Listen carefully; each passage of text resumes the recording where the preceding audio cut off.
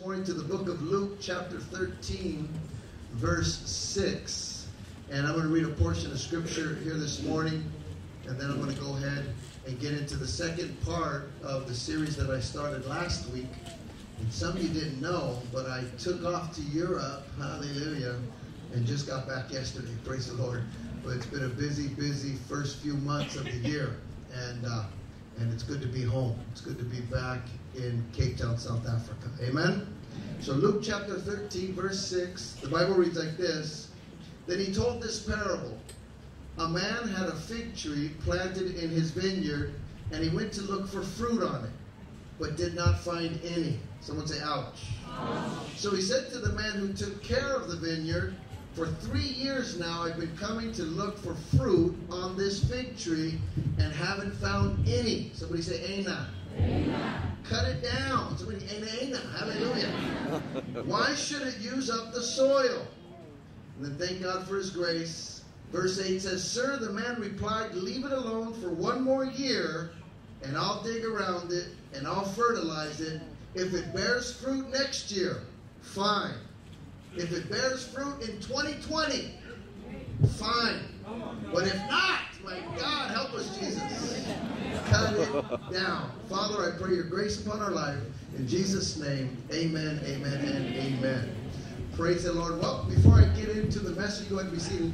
The, uh, it's been good to travel a little bit this year. Again, like I mentioned, I went to Mexico for the meetings that we have every year We're Victory Outreach International, the family comes together, and we had a tremendous, tremendous time with our pastors. And the vision and the direction is clear of what God wants to continue to do within the ministry of Victory Outreach. They say that many organizations after 50 years begin to die or begin to plateau. Many ministries or organizations after 50 years begin to die or to plateau. And you know why they say that? Because many ministries or organizations never create opportunity for the future generations. For the future generations. In other words, you're not uh, smart enough, or you're not good enough, or you're you didn't have, you don't have enough doctorates, or you don't have enough diplomas, or you don't have this, or you don't have that. So you have to wait You're not as gray as I am, so you need to wait first. You need to pay your dues before you can get involved in the ministry. And so while they're waiting for this next generation to pay their dues, they start dying. And they never passed the mantle or they never turned over the ministry. But how many thank God in Victory Outreach that we have leadership that gives opportunity Come on, somebody, that gives opportunity to the future generations. And so, therefore, in 1993, Pastor Sonny began to create opportunity for a generation that was growing up in the church, the God's anointed now generation, which is the Joshua generation. Yeah. Many of us are come from that and got saved during that time, and we came to the Lord. And now, many of the pulpits of the 30 countries, 36 countries, that Victory Outreach is in with over six, seven hundred ministries, many of them are being led by that Joshua generation. That second generation that grew up in Victory Outreach International. I think that's a good place to clap. So a lot of us are about 45. Come on, somebody. Some of us are 50, hallelujah. Pretending like we're 45. Come on, somebody, don't play. Still, I'm getting old too. I'm going bald, my God. We're getting older. But then our pastor again is still with us and he says, you know what? The vision that God has given to the ministry of Victory Outreach is not for just one generation. It's a vision until Jesus comes back. There will be drug addicts and gang members and families that are being destroyed by the work of Satan. So we need to put things in place to make sure that the vision that God has given to us does not die with one generation. And so just recently, Pastor Sonny began to put a whole new generation into place. And now we have three generations that are operating in the ministry of Victory Outreach International. We have the, the, the, the wisdom of the pioneer generation that sacrificed in the 60s and the 70s and the 80s. Then we got the strength of the Joshua generation that began to take their place in the 90s. And now we have the third wave generation that is beginning to take their place in Victory Outreach International. Give Jesus a good round of applause. And so it's exciting to say that after all this travel, going to Mexico, to Europe, to you know, to all these California. I was there in San Diego, the Mother Church. I was in the Northern California. I was I was everywhere. Hallelujah. I woke up this morning. I didn't know where I was. I looked at there. I said, "What hotel am I in, or where where am I at?" Hallelujah. Am I the Bastion? Come on, somebody in Amsterdam. Am I in, where am I at? And I see Gabriel's little foot right in my face. Hallelujah. And I said, oh, I'm right back here in Cape Town, South Africa. Come on, somebody. That little foot, I can recognize it anywhere. Hallelujah. Not just the look, but the smell. Come on, somebody. The smell of that little foot. Hallelujah. Let me know that I was right here. And I've come here this morning to let you know that Victory Outreach is alive and well. 53 years, we're still going forward. 53 years, we're not on a decline. 53 years, we're not on a plateau. 53 years, drug addicts are still being saved. 53 years, gang members are still being saved. 53 years later, families are being put back together, not just in California, America, but in every country all over the world. Victory Outreach is alive. Go ahead and give Jesus a good round of applause if you're grateful to be a part of a ministry that is still going forward for the Lord. Hallelujah. And so I bring a good report back to us here this morning. And you know, a powerful thing is that many of us are, are seeing signs of revival. You go to San Diego, I think uh, Pastor Sam's mom just came in from San Diego, and they have an open window. Of, you could feel just a whole dimension of God's presence that's taking place in San Diego in ways that it hasn't in a long time, or maybe even never before. I'm not sure. There's a fresh window of revival. Then you go to the mother church, our mother church that gave birth to the movement, and they're having prayer summits and thousands of people that are coming into that sanctuary. I'm, talking, not talking about small groups, I'm talking about thousands of people that are coming into these places and they're there just bathing themselves in prayer. Signs of revival. Then I came from Europe. Yesterday we were in Europe and I was there and man, signs of revival. But you know, in all these places, you know what songs they sing? They sing South African songs. Why? Because from the most southern tip of Africa, oh, you don't hear me this morning. From the most southern tip of Africa, there will be a revival that takes place all over the world. See, it's not just the songs that we sing, but it's the spirit that we possess. How do we know that we're in revival right here in South Africa? If you believe it, I need you to clap little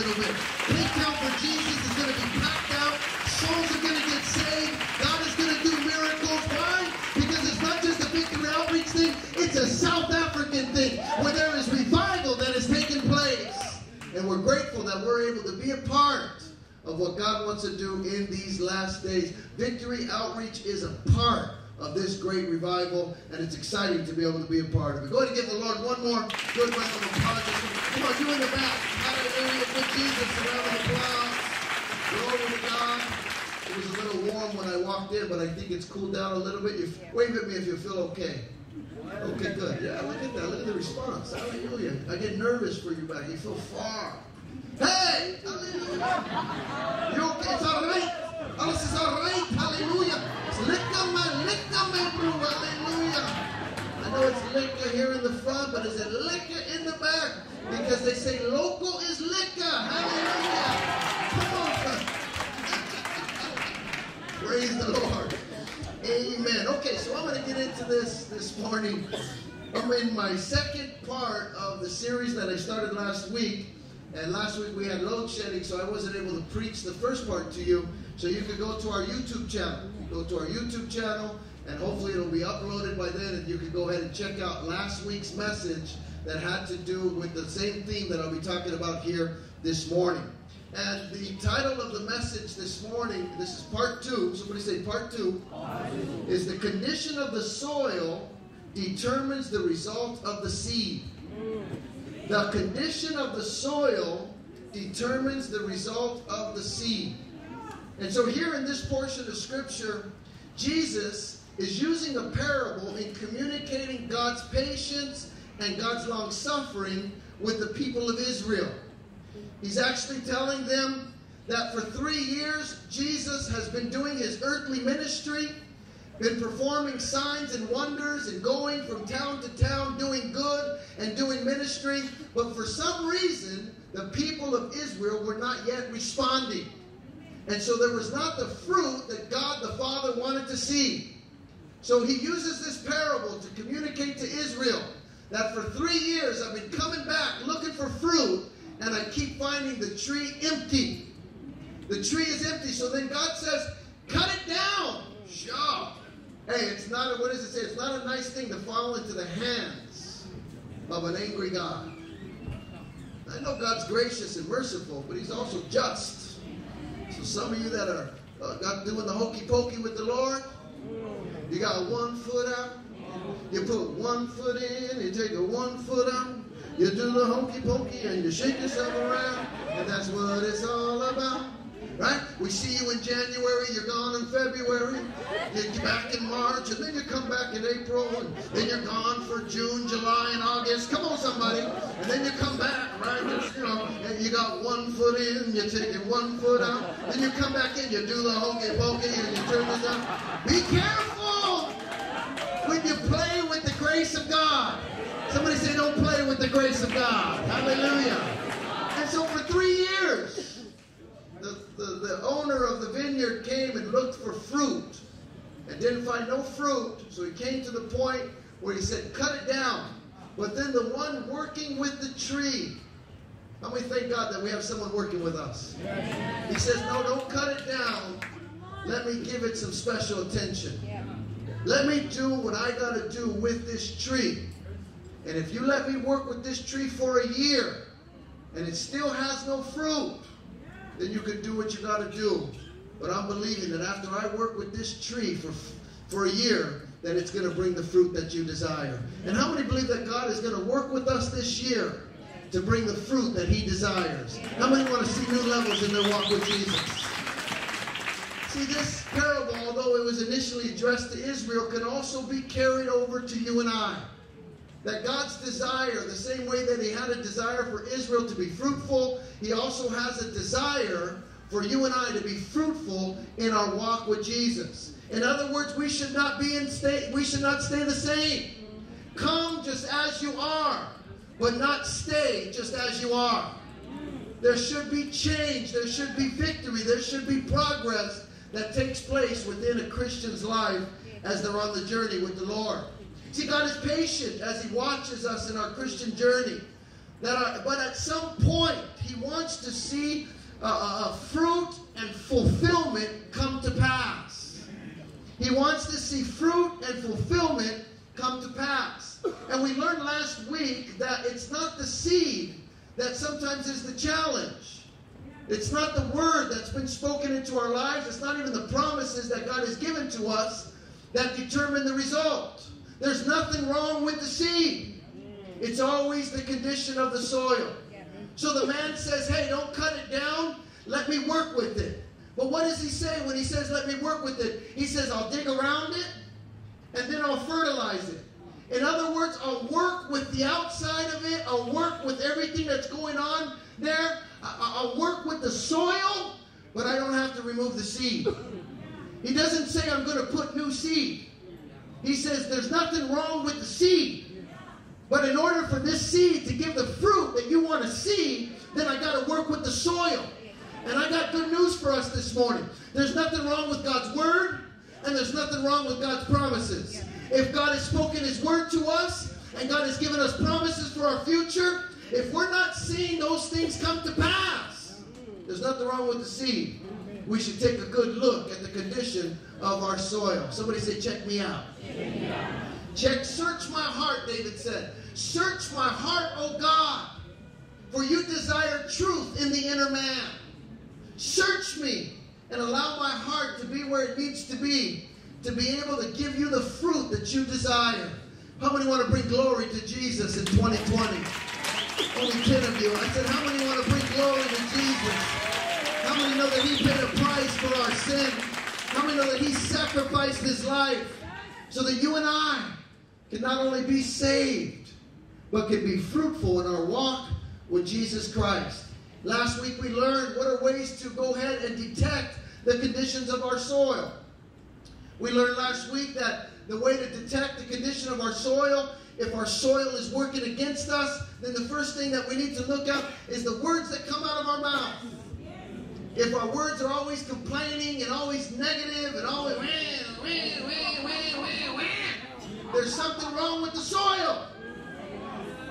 Whatever comes out of our mouth, if we're always gossiping, I should have preached that message to you guys. Dude. Probably some of you need to hear that. Hallelujah. We're always going for an opportunity to talk about people. Hey, you hear about this? Hear about that? If that's constant, the if that's constant, what's being spoken about, then there is something wrong with the soil. There should eventually be, man, God has been faithful. Uh, uh, at the end of the year, I was believing God for this, and He opened up a door, and he, he gave me a brand new job, or I was believing God for my son or my daughter to get saved. And this year, I'm believing God for them to get saved. I've stepped out by faith, and I'm involved in the ministry. I've been seeing the miracle working power of God. In January, there should be a praise that comes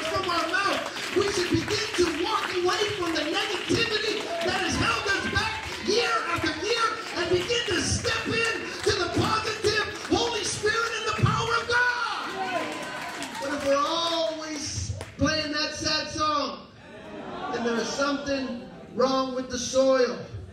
I preached the message in Colorado. I told some of you got to put away your violin. Do you like to sing that sad song? Nobody knows. You know what's coming. Hallelujah. The trouble I see, right? They didn't know it was coming. They liked it. They liked it. I've been doing that for years. Hallelujah. You got to put that violin away, and you need to pick up that harp. See, David didn't play a violin in the cave. David didn't play a violin when Saul was throwing spears at him. David picked up a harp. Come on, somebody. And he praised God anyway. Some of you got to learn to praise God anyway. You got to put that violin away. The violin of 2019, the violin of 2018, the violin of, oh no, you don't know what I've been through, the violin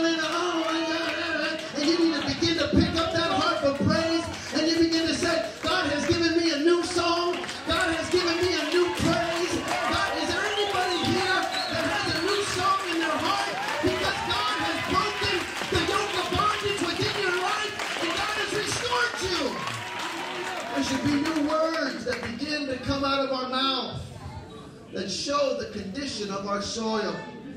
Not only the words of our mouth, but the works of our hands. At some point, we should be activated in the things of God. You got to go to YouTube and listen to the whole thing. The depth of our worship was the third thing that shows the condition of our soil. And this morning, as you detect the condition of your soil or you recognize, man, and I think all of us, I said it in the first service and I'll say it again, and all of us, no matter if we've been serving God for 50 years, we all have room to grow and to get better for Jesus. There is none of us that have arrived. There is none of us that are better than the next man. We should not be comparing ourselves with each other, but we should be comparing ourselves to the Word, comparing ourselves with ourselves. Am I better this year than I was last year? Am I improving in my walk and my journey with the Lord? How many want to get better for Jesus in 2020? And as you begin to look and think about the things that are holding us back, I want to give you a few things that the, that the man that's working with the tree promises he will do to be able to get the fruit from that tree that the owner desired. See, God the Father is the owner of the vineyard. Jesus is the one dir- directly working with the tree. And you and I represent the tree. And all of them, God the Father, Jesus, and us, want to see fruit come forth from our lives. But we must understand that desire alone is not enough. Because many people desire, hallelujah. They say, I'm going to do this, I'm going to do that. This year is my year. Well, I thought last year was your year. No, no, no. Last year, I, you know, I just kind of, you know, I got a little you know, distracted. Well, you got distracted the year before that. And then what about the year before? Brother, you've been getting distracted for the last 10 years. Ooh, you don't like that, I, hey, that's me. Some of you like, that's me. I don't care what you say.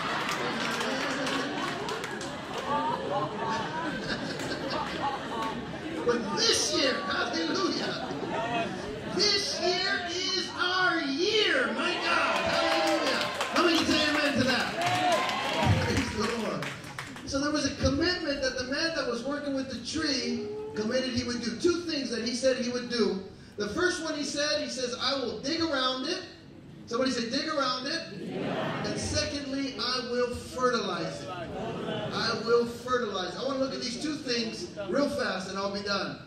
The first thing that the man who's working with the tree, meaning Jesus working with us, commits that he will do is the first thing is he will dig around.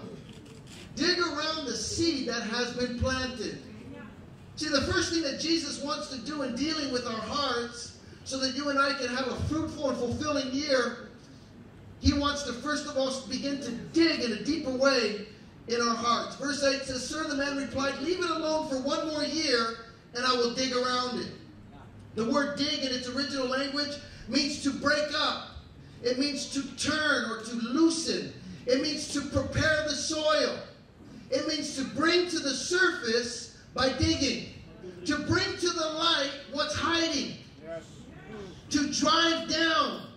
Some of us got to get some of that hidden sin out of our life. Some of that secret sin. Come on, somebody. It ain't no secret. You think it is. Hallelujah. We may not know what you're doing, but we can tell you're doing something. Hallelujah. we may not know exactly what's going on, but we know something ain't right. Come on, somebody. Nobody can say amen to that. This victory outreach, brother. We know. Hallelujah. we got to get some of that out of our lives. Some of the things that have held us back year after year have to begin to be released so we can step into new seasons and new times in our journey with the Lord. It also means to drive down or to penetrate. Some of us got to get things a little deeper inside of us. Some of us got to internalize the things of God. That's why I had you sing that song again. Not because we sound so beautiful, although we do. Hallelujah. Come on. But so that it's not just a song from your mouth, but a conviction of your heart. That you say I'm strong when I'm weak. You say I'm more than a conqueror. I don't care what the world around me is telling me. I don't care what the circumstances and the situations are telling me. I believe in your word. I believe in what you said. I believe in what you told me. So therefore, I will come above every season, every circumstance, not because of what's happening on the outside, but because of the conviction that is happening on the inside. At some point, the outside should not dictate our life. We should be more than conquerors according to the word. We should overcome according to the word. Not because Pastor so and so said it or because this one said it, because the word said it. Do we not believe in the word? Does the word not say that we are more than conquerors? Does the word not say that I'm an overcomer? Then that, my friend, should be the fruit that we display. But if for some reason we're always on the roller coaster, we got blessed. We went to Disneyland. My kids, they love this one roller coaster. It's called the Incredible Coaster. The Incredibles, you know the Incredibles? The little one, little fast one. So that roller coaster is like that. Sure. The Lexus is going like this. She's looking at me. Let's go, oh my God. I never heard that side of her. Oh my God. Oh my God. She was, and then all of a sudden this thing, she goes, oh my God. Oh my God. Oh my God. My point is that some of us are like that in our journey with the Lord. Sometimes we're moving up. And then we're going sometimes, oh my God, I'm going down. And then some of us at some point it went like this. Some of you this morning, you're like this. Because you're allowing your life. The Bible says that every wind that comes will move our life. But those that are steadfast in the word, those that are stable in the word, will not allow the seasons that we go through dictate the life that we live. Is there any men and women here who will not be moved by the circumstances and the situations that we face, but are steadfast in the Lord? There's a certain depth that we have in our walk with God when we allow the Lord to dig some of those things out of us and begin to to push deeper inside of us His Word and His will for our life. See, the reason that Jesus begins to speak about digging around, it's, it also could be in comparison to the parable that he speaks in Matthew 13. Matthew 13, he also talks about seed and soil. And there in Matthew 13, he talks about the conditions of the soil. Three conditions. One of them was a hardened soil. A hardened soil where the seed just laid on the outside. Then there was a shallow soil that looked good for a minute. That looked good. Can my hay,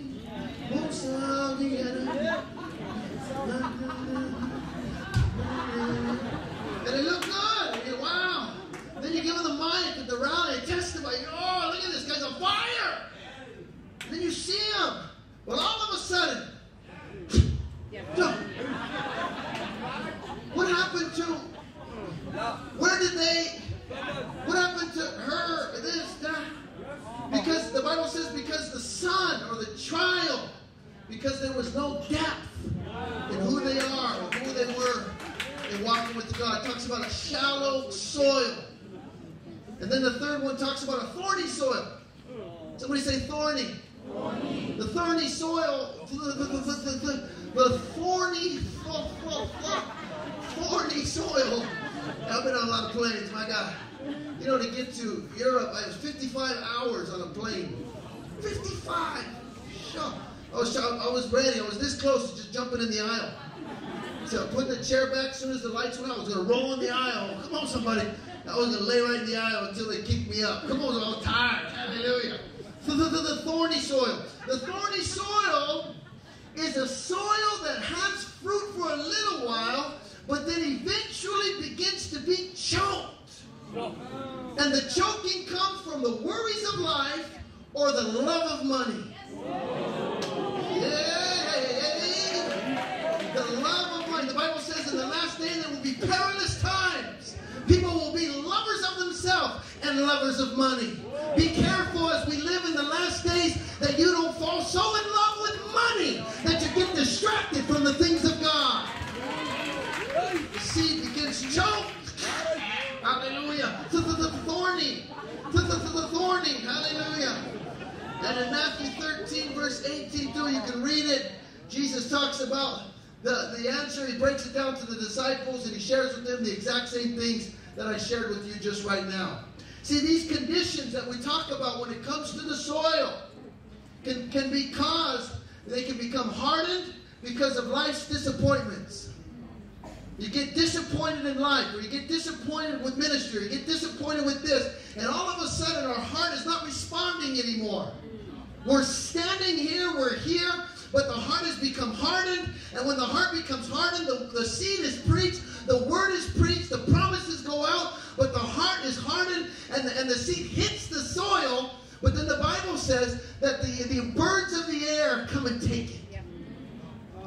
The birds of the air, because that person did not, did not have an understanding of the word.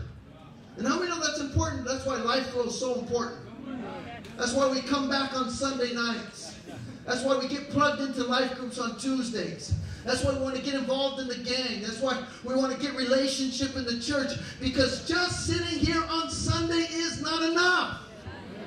See these conditions, my friend, if our heart has become hardened, or our, our, our heart is shallow and has no root, or we're constantly distracted by worry or money, then we will not be able to see the fruit or the fulfillment that God wants to see within our lives.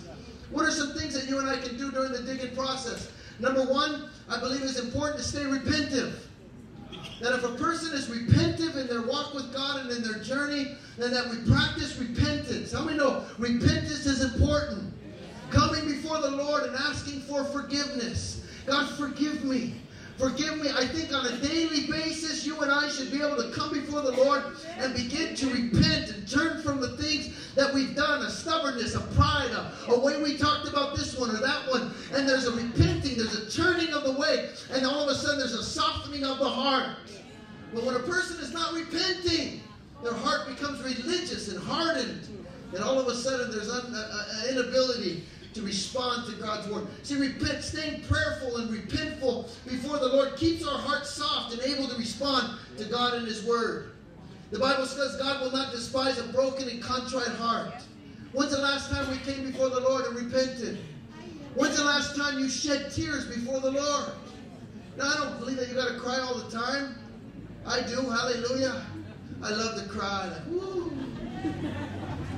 I love to be broken before the Lord. I love when I feel that warmth. I don't care who's looking. Come on, somebody.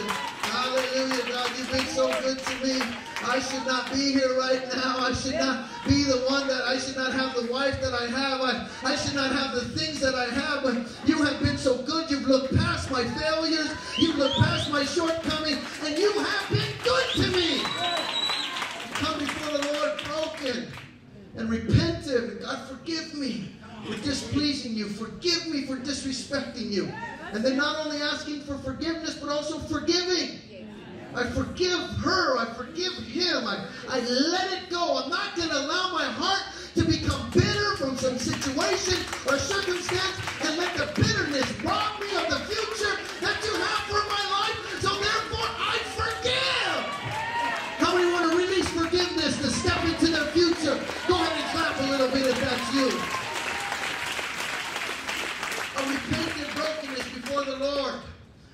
There should be a constant stirring or hunger for personal growth.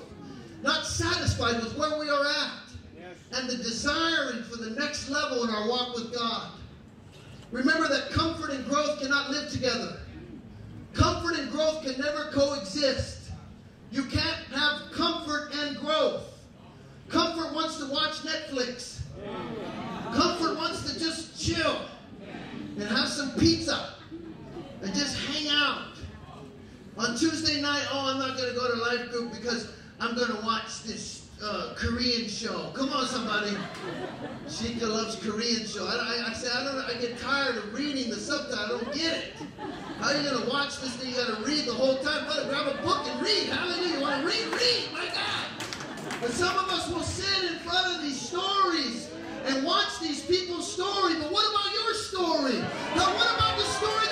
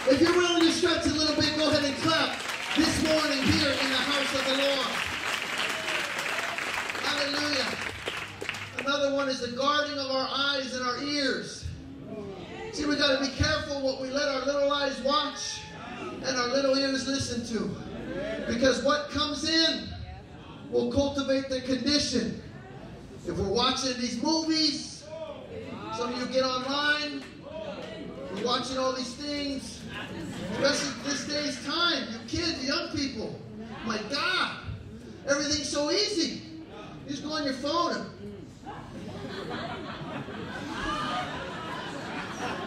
Come on, you know the go-to. You don't even need to be looking at the phone to go to the go-to. You don't.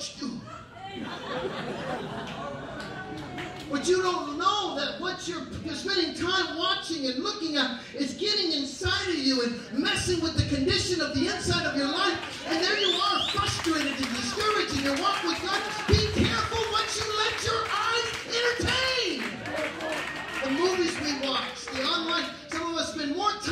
Social media.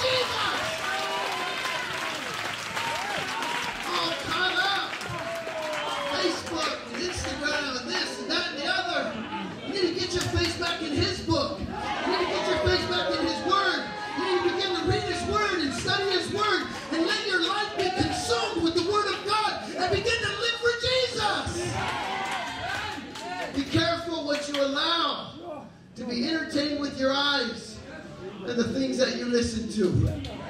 Some of us listen to worldly music constantly. To us is just jazz. This is just jazz music. And you know, I'm not going to be, you know, dogmatic and all that.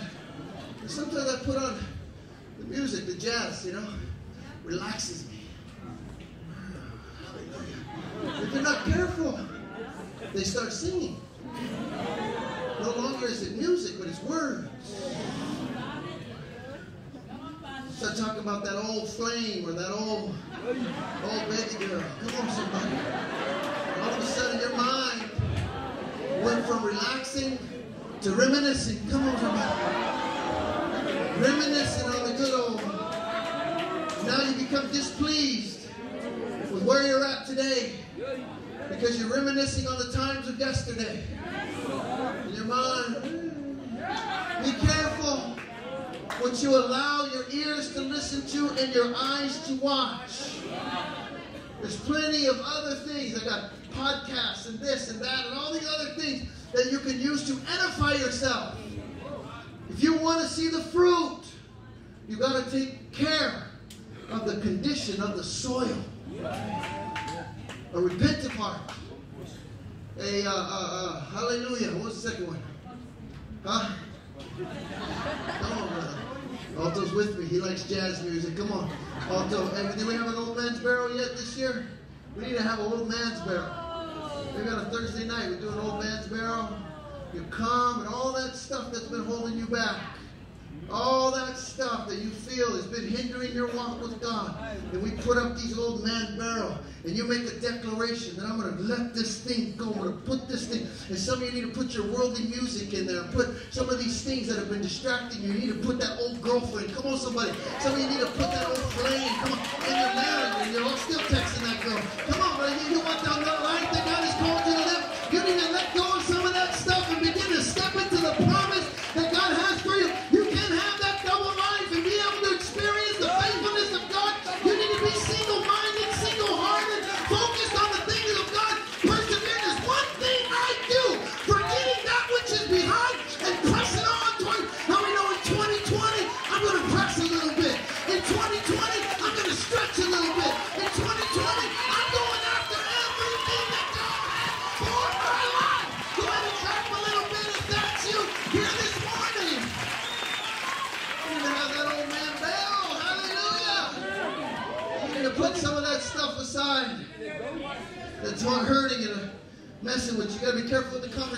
you have. Be careful when you're hurt. You go around hurt people. They're hurt, you're hurt, we're all hurt. We all have this conversation.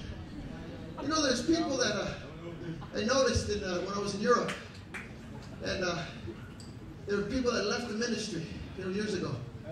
Left the ministry because something happened or whatever. And all those ones, they all come together for fellowship. And there they are, know, fellowship. And my question, what are they talking about? How bad everyone was to them. How bad this one was to them. And how bad. And then I, I asked, what do they leave with? They just leave with confirmation of how bad things are. So that same spirit of depression that they went into the conversation with is the same spirit of depression that they left the conversation with.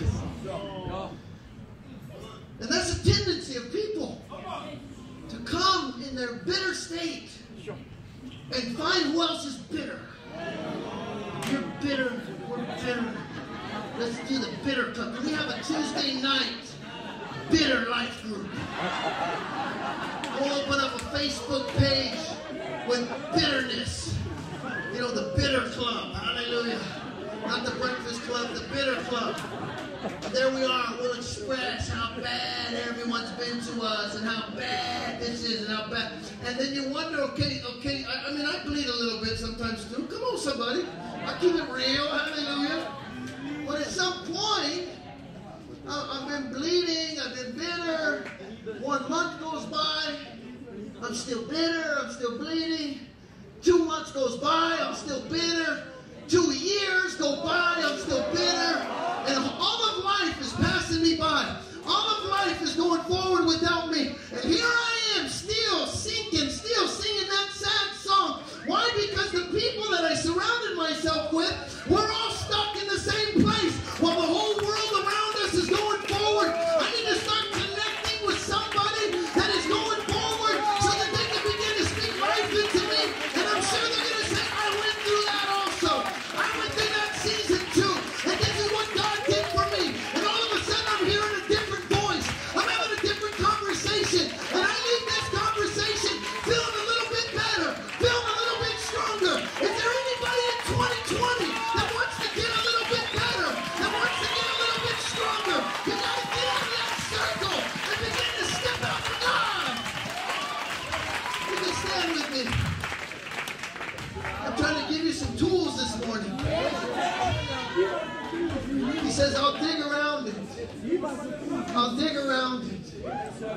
I'll dig around. I'll loosen it up. That heart that has become hard, I'll loosen it up. That stuff that's on the inside, I'll dig it out. The stuff's in the hiding. I'll bring it into the to the visible so that it can be removed and taken out.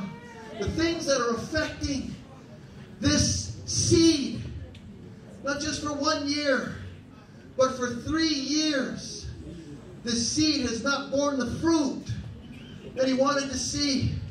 So he says, Let me dig around the seed. There was nothing wrong with the seed, it was the condition of the soil. It was the condition of the soil. And then after he dug around it, loosened it up, took out some of the things that were working against it, took out some of that hiding stuff, began to remove that. I believe there's a new freedom when that happens. There's some of the songs we were singing this morning, man, I felt free in this house. I felt a freedom.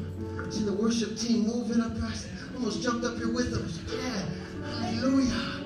There's a freedom in the house of God. There's a freedom in the presence of God. And when those things, that hardened heart becomes soft again, that hardened heart begins to be moist again, and starts to receive, starts to believe again, starts to have hope. Hope, the Bible says, will not disappoint you. When you protect your hope in the futures of God, then he says, after I've dug around it, then I'm going to fertilize it. The fertilizer had to do, and I'm going to close with this, is the fertilizer being put into the soil didn't come from the soil. It was an outside source. That the one that was working with the tree, he says this soil can only do so much for itself. I need to bring outside help. I need to bring an outside help into this soil. Fertilizer that will be able to empower this seed, to be able to breathe life on this seed. And how many know Jesus? He promised us that He wouldn't leave us as orphans, He wouldn't leave us by ourselves. He places a calling upon our life, but then He says, I'm also going to give you the power to do it. I've given you a calling, I've placed a calling upon your life to fr- pr- produce fruit. The Bible says, fruit that will last. And I know my calling sometimes feels intimidating. I know my calling sometimes can make you look at the inadequacies of who you are as a person and begin to look down on yourself. But I got good news for you. Although I've been the one that placed the calling upon your life, I'm not expecting you to get there by yourself. I'm going to bring another. He says, I'm not going to leave you as orphans. I'm going to send another. He said, it's better for me to go because when I go, I'm going to send another. His name is going to be counselor. His name is going to be advocate.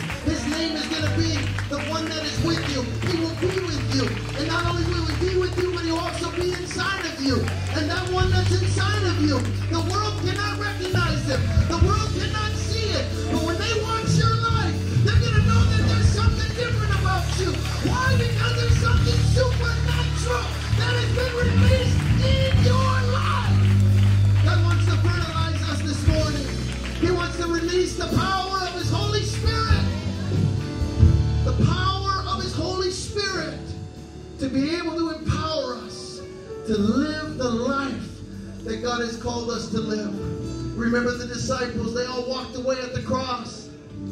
But then when the book of Acts, the Spirit came upon them. Their desires were there at the cross, but their desires could not bring fulfillment to their lives. So they walked away. But then the Lord came back and says, Wait in Jerusalem. I know you walked away. I know you failed. I know you've fallen short. I know you messed up. But I just want you to know the life that I'm calling you to, you can't get there on your own. So get to that upper room. Wait in that upper room. And there in that upper